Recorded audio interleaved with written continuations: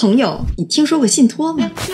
信托啊，在这个亿万级的大佬圈里是最常见的一个投资理财方式，真的是个神奇的存在。默多克他用了信托，成功的把这钱都过给他子女们，让咱们邓文迪邓姐几乎算是分文未得。贾跃亭也是用了信托，就奇迹般的摆脱了二十亿美金的负债。这次比尔盖茨不是离婚嘛，他那基金会其实没有受到特别大的影响，也是因为那个钱都放到了一个叫做信托的东西里边。你说这信托哈也真神奇，咱们耳闻甚多，却知之甚少。他看营销号里就感觉信托就是洗钱避税，感觉不管从哪来的钱放进信托它就安全了，是这么回事吗？哎，今天咱们就一起来聊聊信托，它到底是怎么回事，干什么用的？看看你我能不能也能派上一些用场。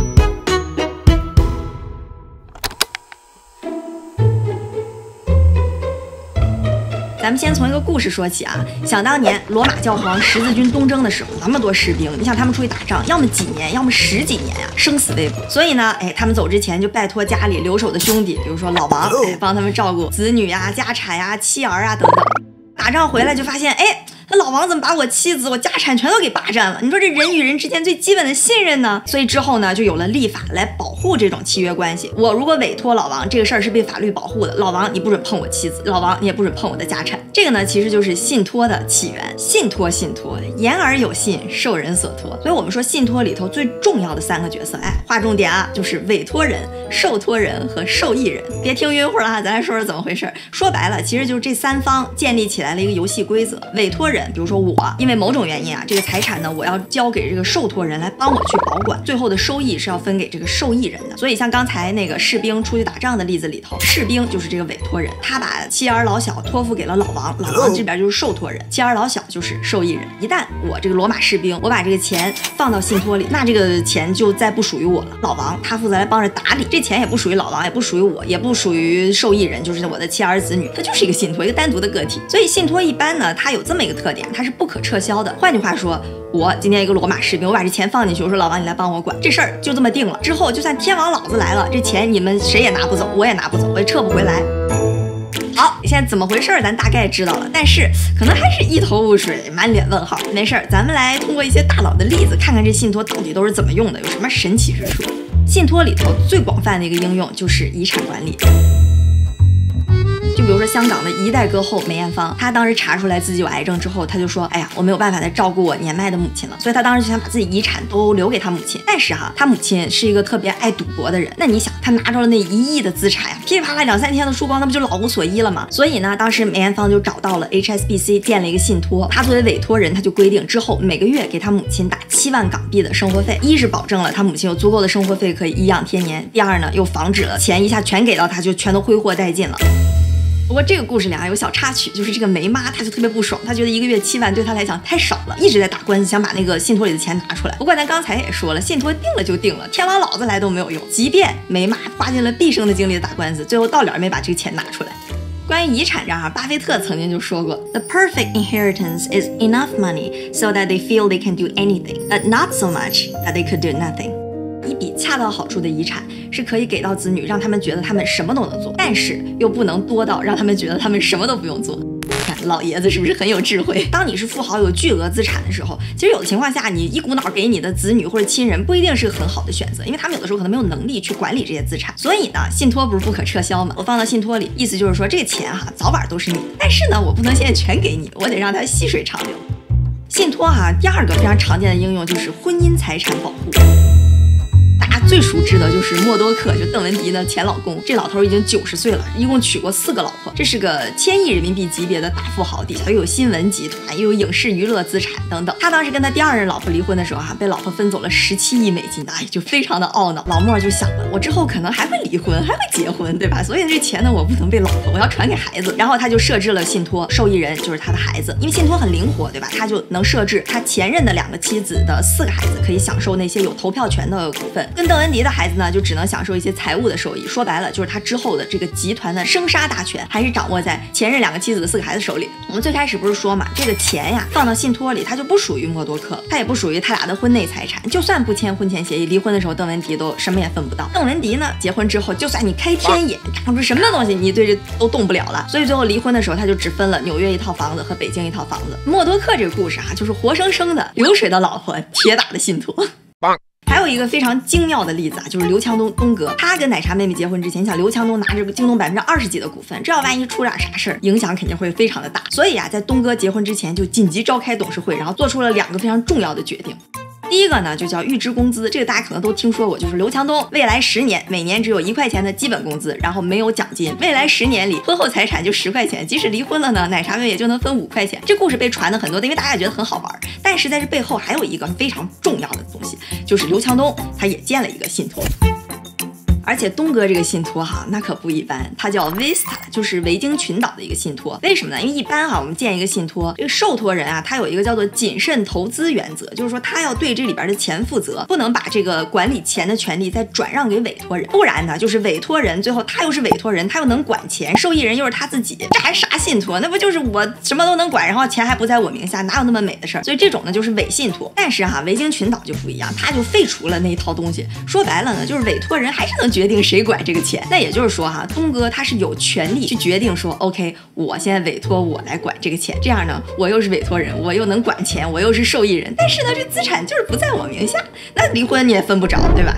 正是因为维京群岛的信托有这个特殊性，所以非常受国内大老板的欢迎。比如说像阿里的马云、拼多多黄峥、美团的王兴啊，都在维京群岛有这么个信托。所以你看，你要是想结婚，想隔离财产，又不想签什么婚前协议伤感情，你就可以对吧？搞一个信托，这里边你可以规定，在我们婚姻存续期间，我的妻子可以每个月从这信托里拿走多少钱。但万一我们俩分了，对不起，那已经不是婚姻存续期间了，是不是学了一招？信托还有一个非常重要的应用，就叫隔离财产安全。说白了就是防债主去讨债。举个例子啊，比如说我现在想创业，假设我现在已经小有成就了，有点钱，但是呢，我想去再冒一次险。大家知道创业的时候哈，你可能会去融资，融资的时候就要签个对赌协议。万一最后失败了，那我就有可能是债务累累啊。那对吧？我要拿我之前赚的钱再去还这个债，那就太得不偿失了。这时候呢，我有个什么办法？我可以搞一个信托，然后把之前财产都放进去。我们家包括我自己，还有我妻儿老小，都是这个信托的受益人。这样情况下呢，就算我新创业的那个项目失败了，但我还可以每个月从这个信托里边拿钱，这样至少不影响我们现在人的生活，就起到了隔离财产安全的作用。要说防债主讨债这儿哈玩的最厉害的，非贾跃亭莫属。贾跃亭这个事儿，他都已经火烧屁股，就债权人都追到家门口了。一七一八年的时候，就是万人追债，他欠了三。十七点七亿美金，刨去他所有的资产，还有二十多亿美金的负债，所以他当时就跑到美国去了，就没影了。但是哈，就在这种情况下，他在二零二零年五月的时候，就凭借着信托，成功摆脱了二十亿美金的负债。哎，他是怎么搞的呢？就在一九年十月份的时候，有个叫做贾跃亭债务处理小组。你看人家债务处理都要专门有一个小组，这个小组呢就发布了一个声明，提出了一个叫做债权人信托的债务重组方案。然后他们就拿着这个提案呢去给债权人，就是债主们去看。说白了就是你们如果有三分之二以上的人都同意，哎，咱们就按这个来。这个提案哈，我捡重要的说，首先就我国内所有的资产都拿去还债。不过这个事儿哈，贾跃亭其实在国内资产早就被扣下了，这相当于是一句废话。然后呢，哎，重点来了，贾跃亭名下那些有可能被追。低速的资产里边最大的一块就是电动汽车法拉第未来的股份，所以呢，这个债务处理小组就帮着建立了一个叫做债权人信托的东西，就把法拉第未来公司的股份呢全都包到这个信托里头了。这个信托的受益人就是原来的那帮债主们。然后按贾跃亭的话说，法拉第未来那是前途无量啊，之后都可能要 IPO 的，对吧？那你们这帮债权人就赚翻了。然后如果你们接受这个提案呢，那我跟你们欠的钱，哎，咱就两清了。你们之后也别追着我讨债。当然里边具体的这个结构就很复杂了，我们就不赘述了。不过你想啊，你站在债权人的角度，不同意呢？好，贾跃亭现在宣布破产，那法院就会把他这些资产都给清算了。那这法拉第未来肯定也贱卖，你想连年亏损，连个车都没有，就能有个未来，就是一张大饼。我这债肯定也是追不回来了。那如果我同意呢？那我拥有的就是法拉第未来的未来，也有个愿景哈。所以呢，你要作为债权人，我就两害相权取其轻呗，我就同意了。于是乎，半年之后，二零二零年五月份的时候，这个提案就通过，贾跃亭就成功的借助着债权人信托，摆脱了二十亿美金的负。债，当然贾跃亭那些其他操作我们不做评论哈，但就单说这个信托，它在中间也起了一个担保的作用，就非常好的把贾跃亭的财产和贾跃亭这个债务人本身给隔离开了，让那些债权人呢就成了这个信托的受益人。哎，你是不得不说这个债务重组小组是内行内行。信托还有一个大家可能整天挂嘴边上的一个作用就是避税。大家都知道美国有巨额的赠与税和遗产税，就是说我这些钱假设有个几千万，我想赠与或者留给我的孩子，那就要交一笔大概百分之四五十巨额的遗产税或者赠与税。但是哈，你看我把它放到一个信托里之后，我孩子就跟领工资似的，天天从这个信托里头领钱，那那个税率就会低很多，就一下能避掉一大笔的税。这里头哈玩的最好就是特朗普他爸，当年他们有差不多十亿美金的房地产，他想给他的五个子女，当时税率差不多是百分之五十五，换句话说，直接赠与就要付五点五亿美金的税。姜还是老的啦，他就搞了一个信托，找了一个律师团队，里边还有那个资产评估师，把这个资产的价格弄到特别特别低，反正就是一顿操作猛如虎，瞬间省了五亿五。信托还有一个就是隐私保护的作用，就比如说在海外，经常比如美国，你买一套房子，其实你公共那个网上是能查出来的。张三某年某月买了一个房子，花了多少钱，全都能查到。所以呢，有些大佬肯定不想让这些信息都公之于众，他就可以搞一个信托，然后用信托的名义去买，那这谁也不知道谁是谁的，就很好的保护了隐私。这个隐私保护也是很多名人大佬非常喜欢用信托的一个原因。所以啊，你下次听到有一些消息说谁谁谁信托又怎么样了，这时候你要擦亮眼睛，因为那些信息正常来讲都是隐秘的，如果不是一些特别官方的渠道，哎。我们就得判断一下。